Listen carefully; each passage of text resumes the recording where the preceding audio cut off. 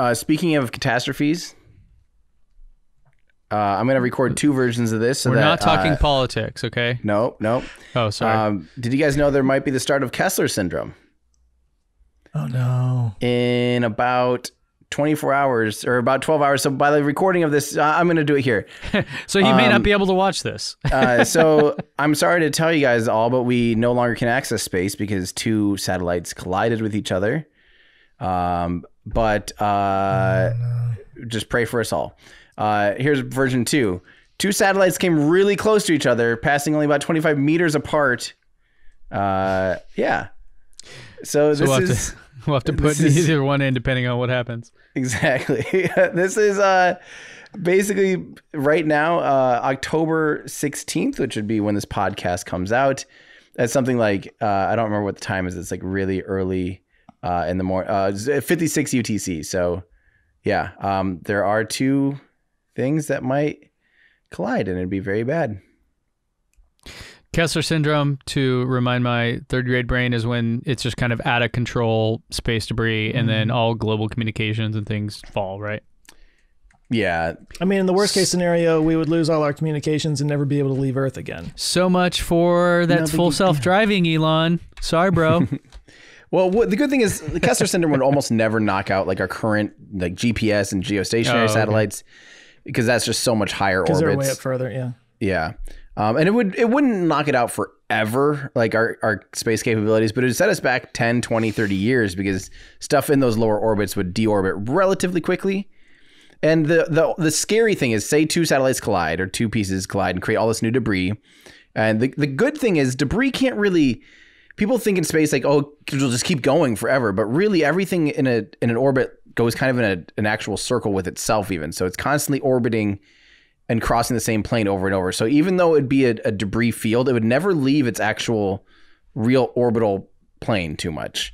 And same with the other debris field that it creates. So it might create two debris fields, but they'll be kind of in roughly the same area. Now the scary thing is if that debris field then ends up having another event, you know, and then if that event causes, thing, that's where it can spiral. That's what the actual Kessler syndrome is, where it spirals out of control. Um, because you know we've It's like it's COVID in space. yeah yes, just what Just 2020 where- needs, right? so we just need to launch satellites with masks. Got it. so I'm I'm confused. Did are they going to collide or are they just getting really close? So as of the last update they had was was 54 minutes ago. Data from the most recent events update show a missed distance of 25 meters plus minus 18 meters Ooh. at a sigma 1 uncertainty.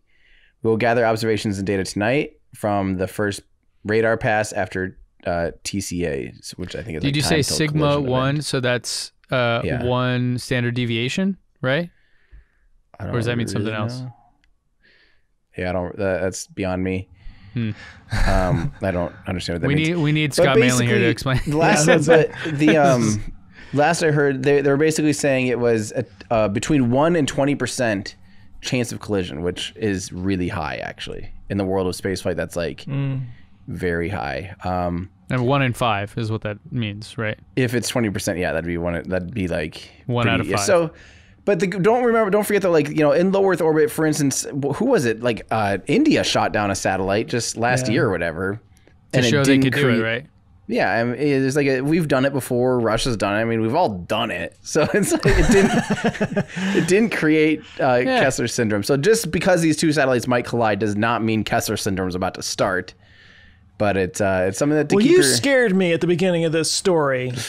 I thought that's what you were saying. Clickbait. clickbait. Yeah, well, we'll we'll see. By the time this Well, podcast comes scared out, we'll well see if we have a runaway Kessler syndrome or not. I guess. So, If this podcast comes out, that's crap. Yeah, so this was what was um, dramatized in Gravity, basically. Yes. The movie Gravity. Mm-hmm. Yep. Well, and don't forget the the scary thing too. Now, when you start thinking about Starlink, is like Yeah. we're doubling, tripling, quadrupling, ten timesing the amount of potential well, there.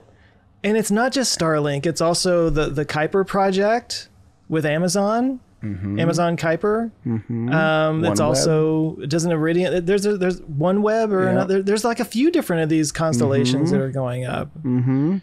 and each of them are going to be several tens of thousands of satellites. and if we don't get to launch the James Webb Telescope, then you know, we'll all be real mad about that. I saw Oh, someone tweet like after all this time. uh, someone tweeted like the James Webb Telescope is like the hold my beer of telescopes. It's like Hey guys, thanks so much for watching this clip from our show. If that's just not enough for you and you want to watch the full episode, you can go to olfpod.com slash YT. And if you want more from us, you can consider becoming a Patreon member. You'll get early access to episodes. You can join our awesome community. You can actually watch us record live and get your name in the credits by going to olfpod.com slash Patreon. So thanks everyone for watching. Check back every Friday for new clips here and new episodes on the main channel. Thanks, everybody.